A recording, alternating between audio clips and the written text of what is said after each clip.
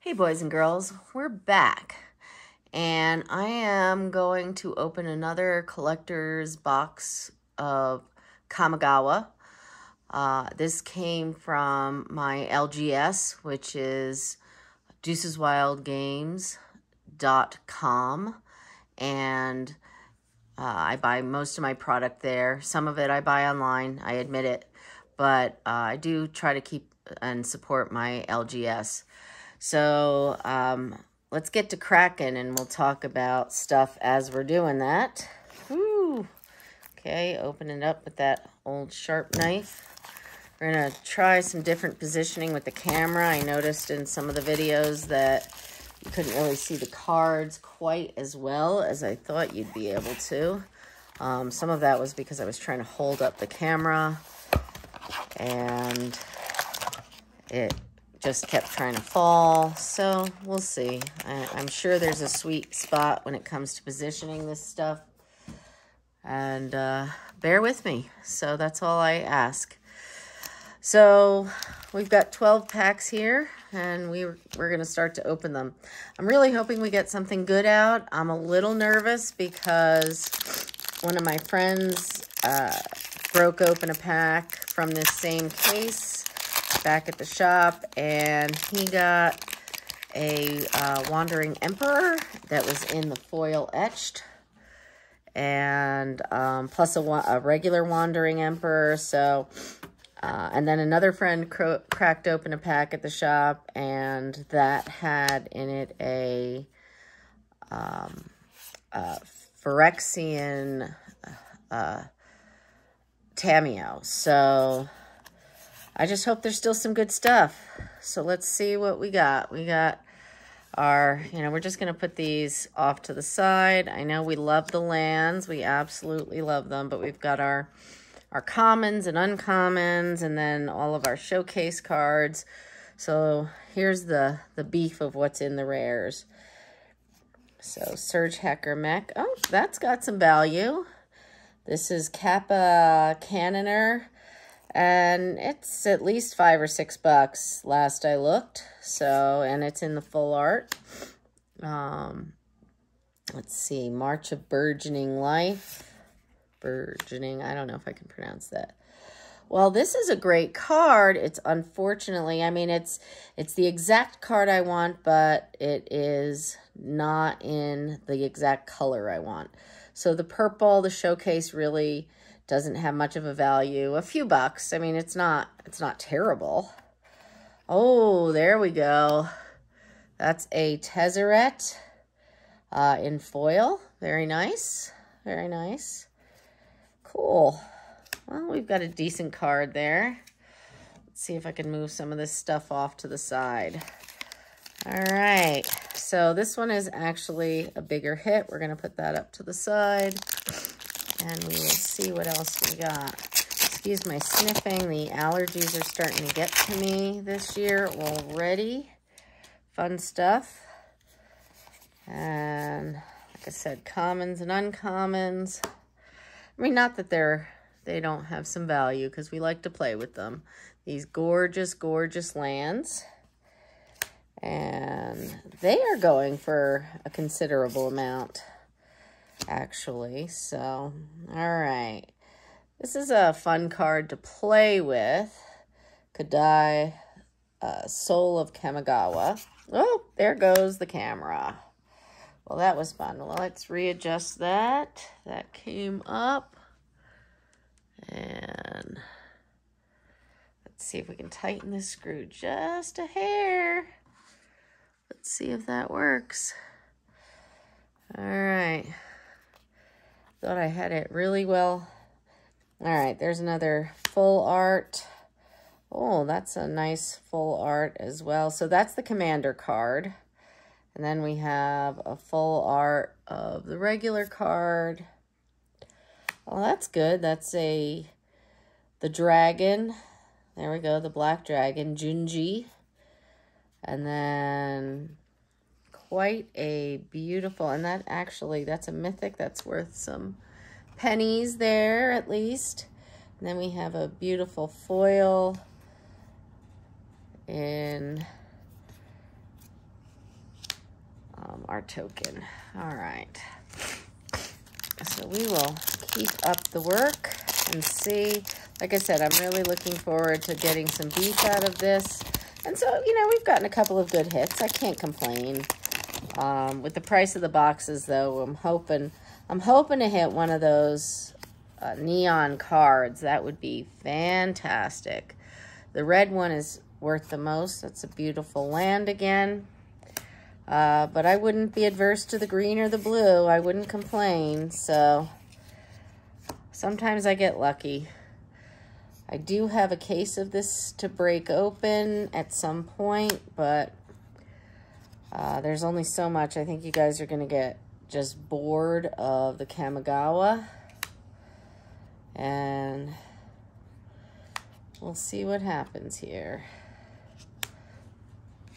Nothing great.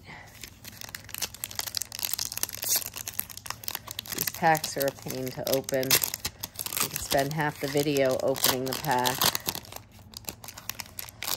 But, I mean, I definitely am an addict when it comes to cracking packs. It's a terrible thing. Uh, you know, the other thing that's got some value, which is just so amazing, is the shrine token. So this, I thought when I first when I first opened my pack of this, I thought those scratches were were damage, but actually that's that looks like rain. So it's cool. I love the lands. Um, so yeah, when uh, oh I forget what story I was telling, but Oh, it doesn't matter. It'll come back to me. That's what happens when you get to be my age. You sort of forget things. All right. Well, this is uh, Tales of the Mirror Break or Fable of the Mirror Breaker. And you get a 2-2 Goblin, and then if you can get it bigger, you get to the Kiki Jiki is just amazing. All right, and then we've got the Mechtitan Core. Uh, somebody played against me with that. Oh, there you go. Another Kiki Jiki. Reflection of Kiki Jiki, this time in the foil. Uh, yeah, somebody played the Mechtitan core against me during one of my drafts. And, uh, yeah, just kicked my butt. So, I gotta say. So, I like playing with these cards. Um, I, I like drafting with them. I like the deck. The deck I have for my pre-release is absolutely broken. Um, it's the green and red one, and I, it's just, it's so strong and so powerful that I, I almost feel like I don't want to beat anybody up too badly with it. All right. March of Swirling Mist. And Imposter Mech is our commander card. Uh, Tameshi, Reality Architect, Mirror Box, and then Invoke the Winds. Well, so far this box is not great. You know, you're paying a small fortune for these boxes. Uh, they're selling at my LGS for 250 currently. And, uh, it's just, you, you're hoping, you, you rarely get the price out, but like I said, my friend pulled a, it, it was the alternate art, Japanese style, Wandering Emperor in foil, um, in foil etched. And uh, the foil etched is running about 205 Oh, there we go. Kura, the Boundless Sky. We got another mythic.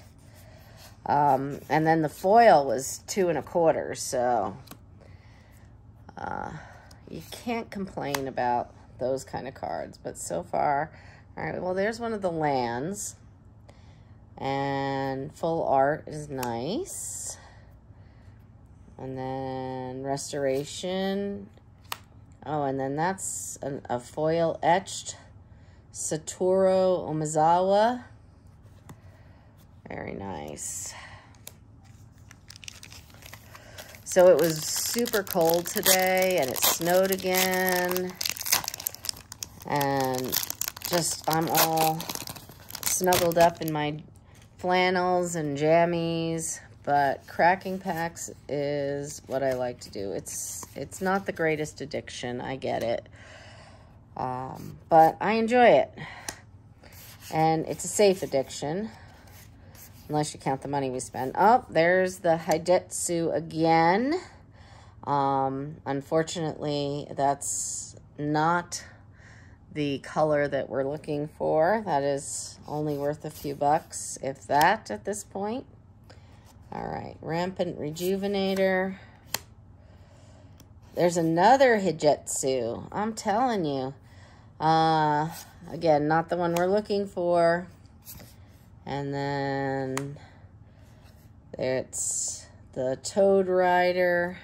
The artwork is just amazing. Some of these, like the Kyodai there, you'd think, I mean, the beauty of that, you'd think it was worth a whole lot more.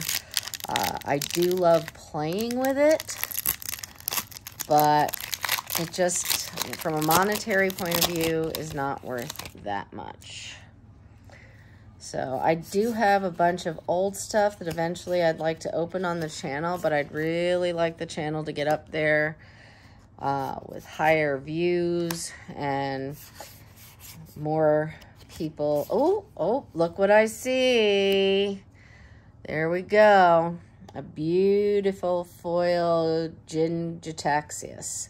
So that's a pretty major hit. If it was in the, so this one runs, um, about $16, $17 in the regular. The foils probably got it up higher. The um, the Phyrexian was about 45 So excellent hit. There we go. Again, not the price of the box. The price of the box you really need to get um, the alternate art uh, Wandering Emperor, but I do not expect to see that with having my friend hit that in the box right before mine. You know, I, I was hesitating about buying a box, and he jumped in there and got it, but, you know, maybe we'll get lucky. Maybe we'll get a, maybe we'll get something better. Maybe we'll get one of the um, neon cards. That would be fantastic. Uh, so far at my shop, we have seen one person pull one. I believe it was a blue, if I'm not mistaken, since I heard it secondhand and didn't get to watch it be opened. But you never know what you're going to come across.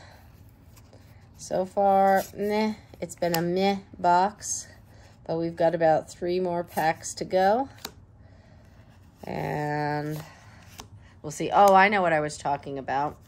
The uh, token, the shrine token, is worth a significant amount of money. I think it's worth more than 10 bucks at this point. I think it was in the 20 to 30 range because there was an error with the printing and it didn't actually get into the print runs from what I was told.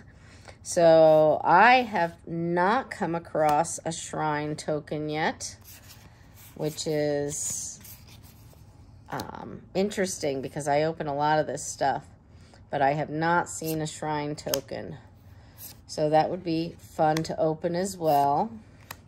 Lizard Blades. I just opened another one of these, and uh, the artwork is just crazy. I love it. Liz uh, there's a lizard on a couple of swords. Pretty cool. All right, Thundering Raiju. Again, nothing to get worked up about. Maybe I should check these, make sure there's no, nope, nope, but we do have the Tezzeret token, so that's cool. All right, two more packs to go. Let's hope we get something decent, but I don't know. I think my friend got the firebox, so, and the one card he wanted was not in there. So that is, he wanted one of those commander cards, the shrine guy. So he did not get that. And there's AO or OWL. Dragon Kami Reborn, Teachings of the Kirin, and Not a Shrine. All right, last pack. So, you know, these, these get expensive, and I, I hate to keep opening and opening. I, we're really chasing the cards, and the likelihood of coming across one of those is very small. So you basically end up spending almost as much money. There's another the red land again. And then Ascendant Hinata. I like this card. Um, it's not worth a whole lot, but I do like it. There's a Kodama. reasonable hit.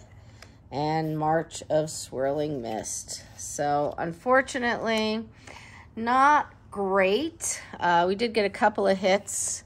You know, this, uh, the Jin-Taxis is probably the biggest one in there. Um, so, sort of a mad box. Um, I'm a bit disappointed in it. But you can't win them all. So, hope you like to watch the video. If you like to watch me cracking packs, great. I really would like to get the channel up to a higher number of subscribers. If we can get up to um, a thousand subscribers, I will crack one of the older boxes. I've got some Japanese um, War of the Spark that's got some chase cards in it. And uh, I've actually even got a pack of Tempest, which is a, um, a it's like a, a smaller box, uh, not just a single pack and I'm hanging on to that until we get to a higher number of subscribers. So if we get there, then we'll open some older stuff, which will be a lot more fun. In any event, if you like the video, uh, leave a like, leave a comment, and I hope to see you soon. Thanks so much.